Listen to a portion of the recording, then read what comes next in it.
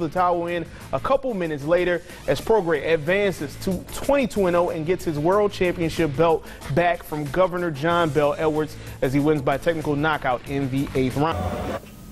Thank you very much, Doug. And with this being a championship bout, the big names came out to watch. The NFL NOLA products all ringside rooting on Regis, including Prograis's childhood friend, former LSU star and current Texan safety Tyrann Mathieu. Also in uh, attendance, Louisiana Governor John Bel Edwards, who supports events like this in the city, showcasing its best.